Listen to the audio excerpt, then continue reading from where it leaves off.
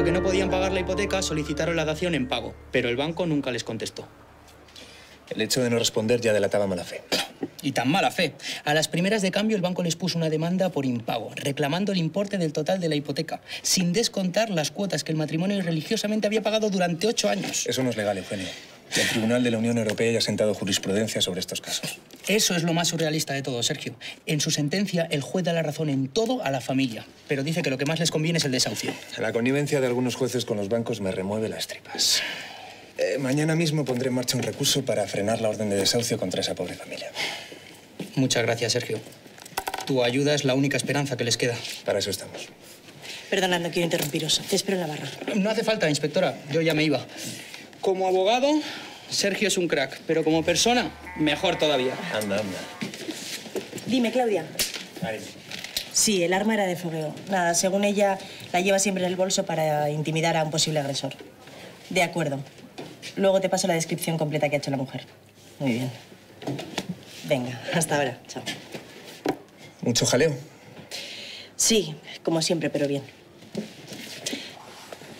Oye, supongo que debe descolocar bastante quedarse de repente sin trabajo, ¿no? Supongo. Aunque lo de quedarse sin trabajo es relativo. Desde que me despidió tu padre no he parado. ¿Y en qué andas? Me he implicado a tope con varios asuntos de la ONG. Y me estoy moviendo papeleo para entrar a trabajar en un turno de oficio. Ya veo que no pierdes el tiempo. Me alegra mucho verte tan contento y comprometido. Soy de digestiones rápidas. Cuando una puerta se cierra, me pongo las pilas para abrir otra. De verdad, no sabes cuánto mérito tiene una actitud tan positiva. Hay mucha gente que en tu situación se viene abajo. Dicen que las crisis son una oportunidad para reinventarse, ¿no? En el fondo no me ha venido mal que tu padre me despidiera. Yo creía que estabas muy contento trabajando en el bufete. Sí, trabajar en Ocaña Abogados ha sido un lujo. Pero me he dado cuenta de que hay cosas peores que perder un trabajo. Por ejemplo, perder tu casa en un desahucio. Desde que colaboro con la ONG estoy conociendo historias terribles. No sé cómo mi padre te ha podido dejar escapar. Quizá algún día recapacite. Dudo que vuelva a contar conmigo. Pero si lo hace, quizás ya sea tarde. Estás muy dolido con él. No le guardo rencor, si es lo que preguntas.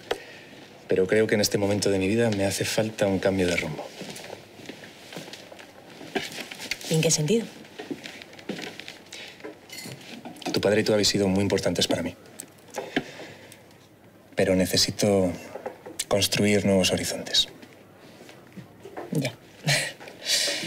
Vamos, que estás haciendo un lote con los Ocaña para sacarnos de tu vida. No, no. no me malinterpretes. Lo que intento decirte es que tengo que asumir la realidad. Ya no trabajo en Ocaña Abogados. Y sé que nunca tendré contigo la relación de pareja que yo quería. Aunque me cueste reconocerlo, tu corazón está ocupado.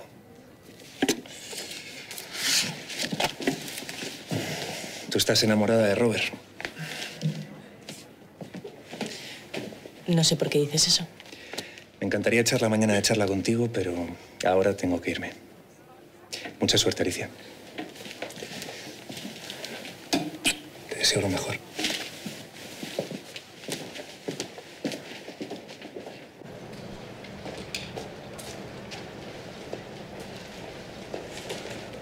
Robert, ¿Qué? ¿tienes un momento? ¿Podemos hablar?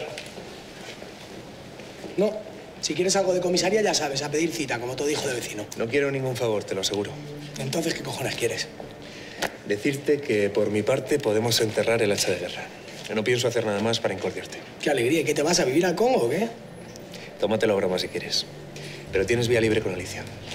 Esta sí que es buena. El abogado has tirado dictando sentencia sobre mi relación con Alicia. Mira, chaval, ¿tú que eres tonto o qué? Nosotros somos mayorcitos, no nos tienes que dar permiso para nada. Veo que es imposible hablar contigo de manera civilizada.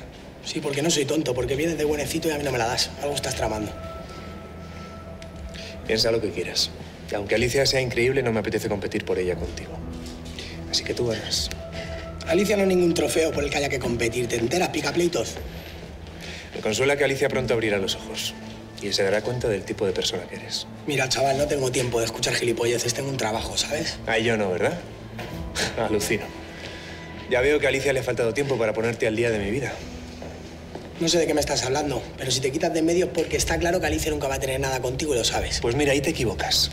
Porque no hace mucho tiempo Alicia y yo sí que tuvimos... ¿Tuvimos el qué? A ver, venga, ¿qué tuvisteis? Alicia y yo hemos compartido muy buenos momentos juntos. De hecho, nos compenetramos a la perfección. No sé si me explico. Hasta luego, chaval.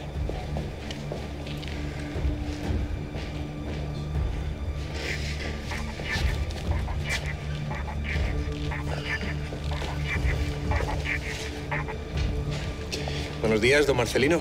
Hola Sergio, ¿qué tal estás? Pues ahora mismo sorprendido por su llamada. No la esperaba, la verdad. Ya me lo imagino. ¿Tienes tiempo para hablar un momento? Claro. Dígame, ¿de qué se trata? Lo que quiero decirte es importante. Si pudieras acercarte al despacho para hablarlo personalmente, te lo agradecería. Por supuesto. Ahora mismo salgo para allá. Bien, muchas gracias, Sergio. Hasta ahora.